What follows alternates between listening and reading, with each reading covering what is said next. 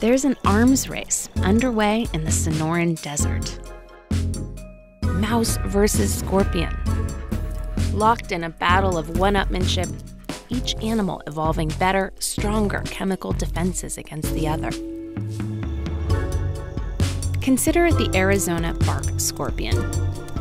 Its tail contains the most powerful venom of any scorpion in the United States, delivering white hot electrical pain. This sting sends hundreds of people to the hospital each year.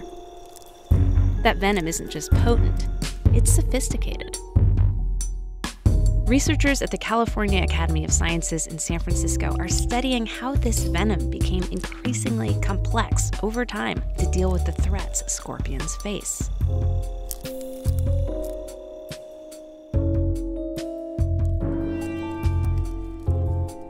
They milk the scorpion.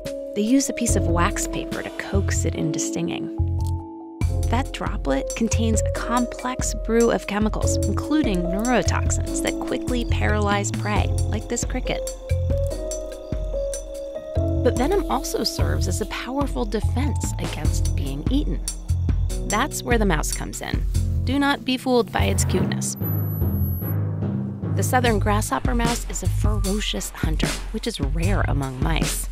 It's got a taste for scorpion, which would seem like a death wish, but it isn't. Scientists at Michigan State University are studying how this battle unfolds, not just physically, but at a chemical level. This mouse is on the attack. But the scorpion is not having it. See how it keeps stinging the mouse? For any other animal, including you or me, this would hurt badly. And for a second, with the grasshopper mouse, it does. See how it's rubbing its face?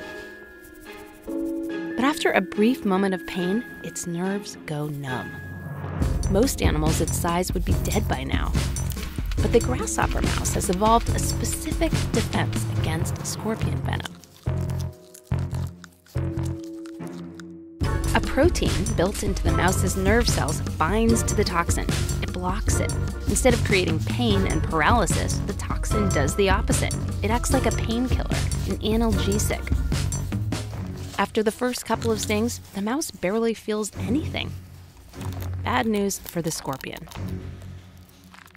Researchers think this trick could point the way to more precise pain medications for people with fewer side effects. Once upon a time, the scorpion's venom was enough to protect it.